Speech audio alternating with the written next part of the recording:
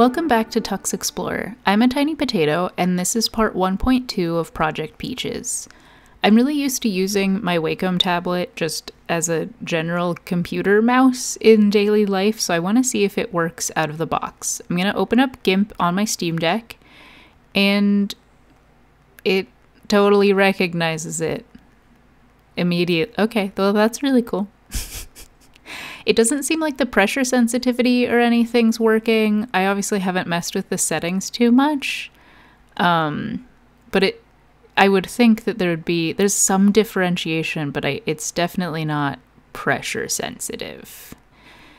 So I think what I need to do is head over to linuxwacom.github.io and they are the Linux Wacom project, which manages drivers, libraries, and documentation for configuring and running Wacom tablets on Linux.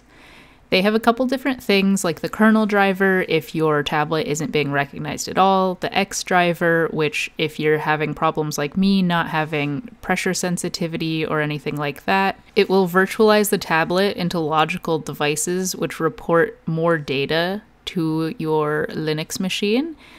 And then they also have the libwacom, which is a library that provides applications with a way to get information about tablets that are connected.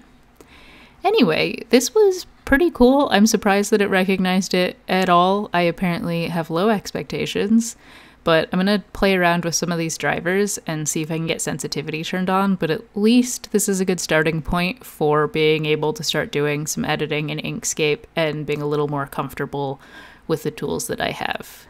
Subscribe to follow along with Project Peaches, where I'm making a KDE theme entirely on the Steam Deck, and like this video if you also did not think that a Wacom tablet would work out of the box on the Steam Deck.